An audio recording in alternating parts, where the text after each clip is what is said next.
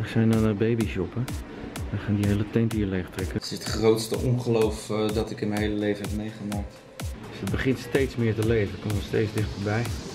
Ik denk dat zij perfect is voor onze dochter. Hallo allemaal. Hallo. Wij eh, zijn Noelle en Ferry. Wij gaan vertellen over, eh, over eh, onze zwangerschap. Het is allemaal zo belachelijk snel gegaan. We zijn nog niet eens zo heel lang samen, anderhalf jaar. En na negen maanden ben Noelle zwanger. Wel gepland. Hartstikke gepland, maar we hadden niet verwacht dat het zo snel zou gaan. Dus, wij gingen naar IJsland op vakantie met oud en nieuw. En je was eh, twee dagen over tijd. Eén dag. Eén dag over Ja. tijd. En ik weet niet waarom je... Je had een test meegenomen. Ik weet niet waarom. Je weet maar nooit, toch? Ja, maar je was ervan overtuigd dat het wel een half jaar kon duren. Ja, zo. dat wel. Maar ja, toch even voor de zekerheid. Goed voorbereid dus. Dus, op een gegeven moment, ik weet niet of ik het zei of dat jij het zei. Ik zei, nou ja, test even. En ik was er... Nee, jij was ervan overtuigd eh, dat je toch absoluut niet zwanger Nee. zou zijn. Dus je, je- Daarom wilde ik het weten. Daarom deed ik die test. Zodat ik gewoon dat niet hoefde te Ja, vergeten. dus we zitten op bed. Zij heeft die eh, test in januari, ik weet nog precies hoe laat, om 11 uur 's ochtends. Normaal weten vrouwen al die details en dit keer weet ik het. Zeg met die test. Gaat ze op bed zitten met de rug naar me toe. Ik denk, nou, kijk elkaar minstens aan of laat me meekijken. Als nee, maar ze was zo overtuigd, ik ben niet zwanger, dus ze ging met de rug naar me toe zitten. En toen draaide ze zich om, eh, een half eh, verschrikt gezicht. en toen liet ze het me zien en dat moment, ik weet niet, ik kan het niet eens meer zo goed voor me halen.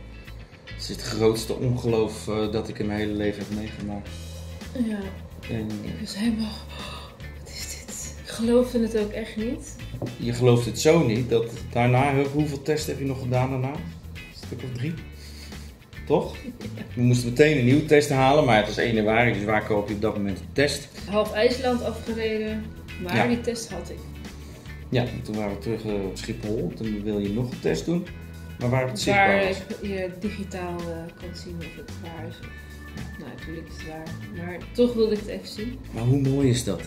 Dat je gewoon dat was op de toplocatie in IJsland. Heel romantisch. De, de avond ervoor stonden we nog aan een kampvuur. Een gigantisch bonfire met, met, met honderden IJslanders. Stonden we feest te vieren. En dat was natuurlijk al briljant. Het was, we waren nog goed uit eten geweest. Het was een sprookje en dan 's ochtends om 11 uur krijg je dit er nog bij. Ja, Ja, ongelooflijk.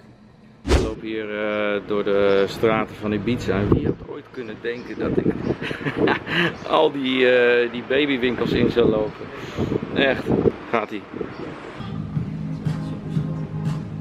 Zoek je nog iets specifieks of niet? Oh, dit is leuk. Ja, superleuk. Hoeveel zitten we nu? Hoeveel weken? 26. 26. En nu is het al bijna zover. Het gaat zo hard.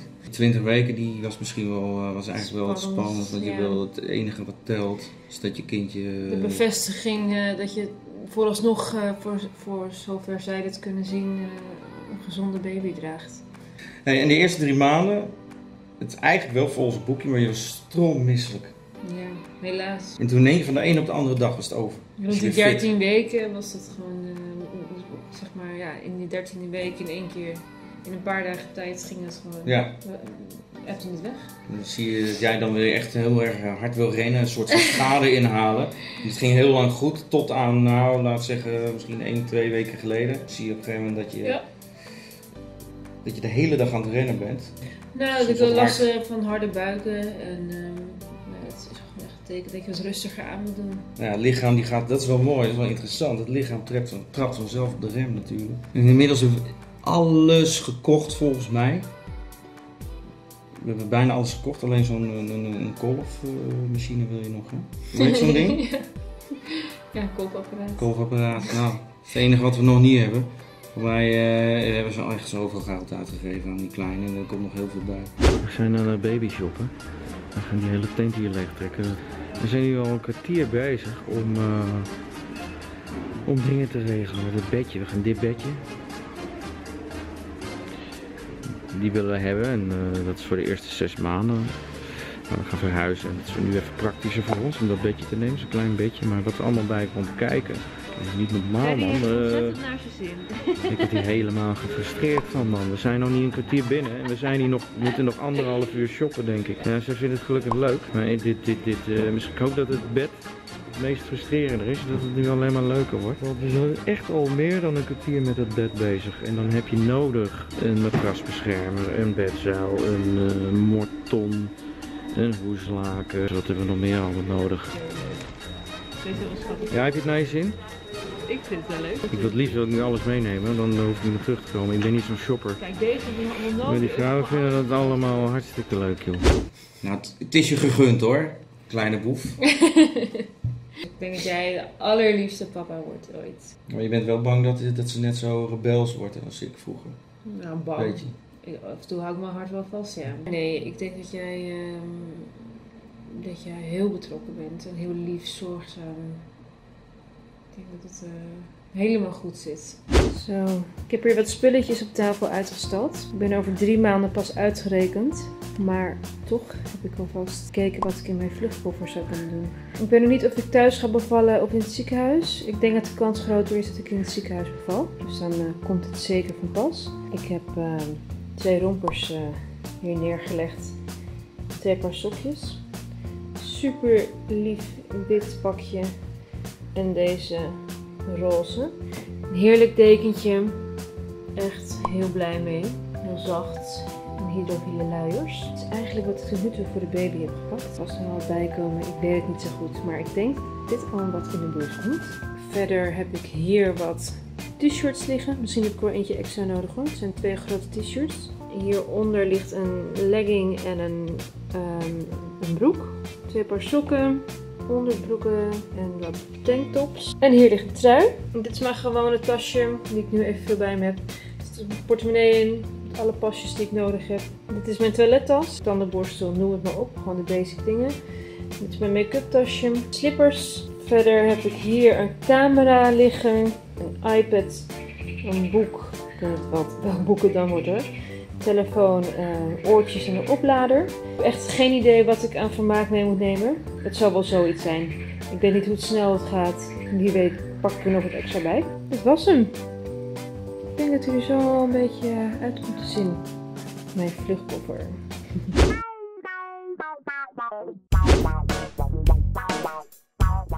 Ik verwacht dat het vaderschap mij eh, behoorlijk zal gaan veranderen. Ik denk dat ik meteen, dat is het cliché, dat is wat je altijd hoort, dat ik meteen verliefd word op onze dochter. Ik denk dat het me een stuk, eh, een stuk emotioneler, een stuk weker maakt. Dat is ook wat je hoort. En eh, dat mijn verantwoordelijkheidsgevoel enorm eh, zal stijgen. Ik zie niet zozeer op tegen de bevalling. Ik denk, ik zie op tegen de bevalling voor Noël.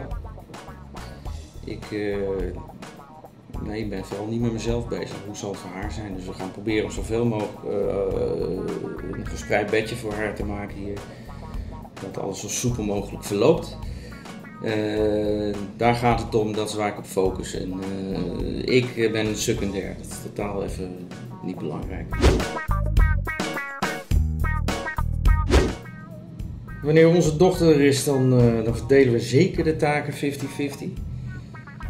Tenminste, als het komt. Het is niet zo eh, dat we de taken eh, gaan verdelen. Jij doet dit, jij doet dat. Ik denk dat, het, dat we dat omwisselen. Wat, alles wat zij doet, wat zij eh, kan, dat wil ik ook kunnen.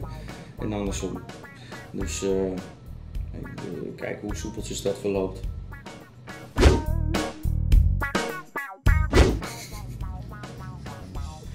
Luister schonen, dat, eh, ja, kom maar door.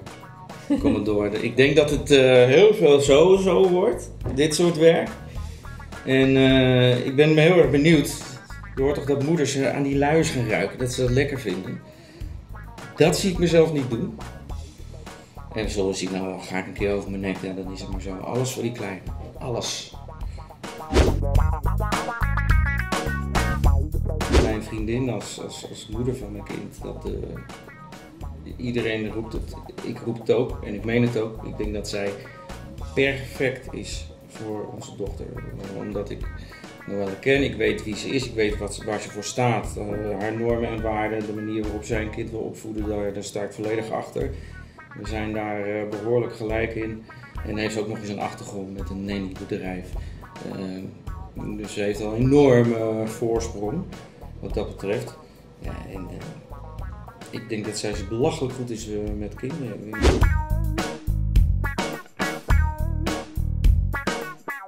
Vakanties met z'n tweeën, dat blijft ons absoluut een must. Ik denk dat we een paar keer per jaar een weekendje weg willen. Een weekje, dat, kan ik niet zeggen, dat speculeren. Want ik, weet niet eens of, of mijn dochter zo lang alleen wil laten, kan laten. Maar wij hebben het geluk dat wij familie hebben die bijna smeken om op de kleine te mogen passen. Dus wij hebben de mogelijkheid om af en toe wel eens één, twee dagen weg te gaan. En misschien wel langer. Dus, maar dat vind ik wel belangrijk dat we die momenten wel pakken. Weet je wat leuk is? Mijn, eh, mijn vader uh, die heeft uh, een boek geschreven, Tenen lezen. Dat is een karakteranalyse aan de hand van de vorm en de stand van je tenen. Een boek, uh, vijf boeken uitgegeven in, in, in, heel veel wereldtalen. Dat zeg ik er juist bij om, dat, om aan te geven dat het wel een hoe zeg je dat? Een, een, theorie is die behoorlijk wereldwijd geaccepteerd is. Het is natuurlijk vaag is het voor het eerste woord, maar hij heeft een, ook een boek geschreven, Babyteentjes lezen. Een baby wordt natuurlijk geboren al met een karakter. Maar hoe mooi zou het zijn als we al het karaktertje een beetje kunnen zien aan de hand van het boek dat mijn vader ooit geschreven heeft. Babyteentjes lezen. Ja, dat is heel leuk. Je kan natuurlijk nog niet communiceren, maar het karaktertje is wel al voor een groot deel gevormd. Ja. Ik denk zeker voor de helft. En dan ben ik wel heel erg benieuwd naar wat we daaruit kunnen halen. Dat vind ik spannend. Ja, jongens, ik moet even wennen aan het vloggen. Het is, uh, ik heb het voor mij nog nooit gedaan, dus de eerste keer. Maar um, kijk eens, hier uh, zit op ons balkonnetje Ibiza en Talamanca. En uh, de zon is ondergegaan. We zijn net in uh, Ibiza stad geweest. En we hebben wat uh, baby shoppen gedaan. Nou, we hebben eigenlijk niet zoveel gekocht. Wel gekeken. Wel gekeken. Inspiratie opgedaan. Zeker. En, en uh, we zijn in principe hier uh, om nog de laatste keer met z'n tweeën te zijn. Maar eigenlijk we hebben het een halve dag over de kleine. En we zeiden net al, dat het toch een beetje het gevoel dat we beetje zijn. Hè? Ja, eigenlijk wel. Het begint steeds meer te leven. Het komt er steeds dichterbij. Dus uh, spannend. En dan uh, lees je ook vandaag dat uh, Johnny de Mol en Anouk van Schie, dat die een klein hebben gekregen. En die zie je zo'n fotootje en die lopen natuurlijk een paar maanden op ons voor en dan begint het nog meer te leven. Dus ja, we vinden het allemaal geweldig. Het, het is eigenlijk een heel mooi proces. Je zegt ook wel eens dat je hoopt van, van mij mag ze morgen geboren worden. Toch? Jij niet? Nou ja, ik, ik, dit, dit proces, als je erop terugkijkt later, is het ook wel erg ja, mooi. Het is ja.